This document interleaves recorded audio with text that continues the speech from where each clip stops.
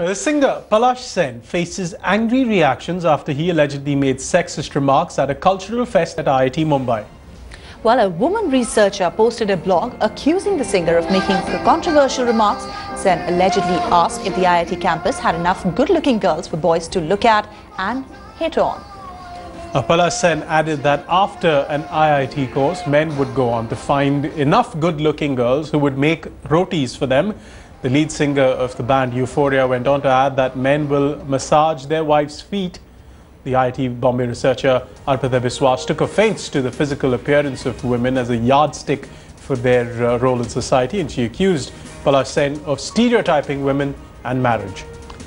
Well, the singer, however, later said that his words were meant to be a joke and he had, he has now in fact apologized for his comments. Well, our entertainment editor Rohit Khilnani is now joining us on the phone line. Some clarification that has come from Palash Sen's side. Could you could you elaborate a little more?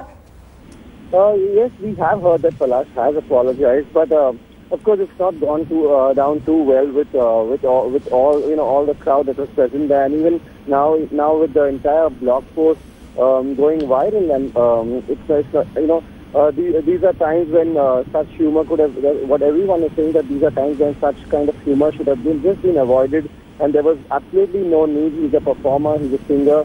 Uh, the crowd and, and the youngsters, they love his uh, music, they love his songs and that was the key reason why he was invited. So there was absolutely um, no reason to touch a subject like that and, and, in fact make fun of it. But, um, but uh, since, he has, uh, since uh, uh, we've heard that he has apologized, we still don't know uh, whether his apology has been accepted by the blogger and, and the crowd present there. Uh, but of course, we will try and connect with Palash and update you.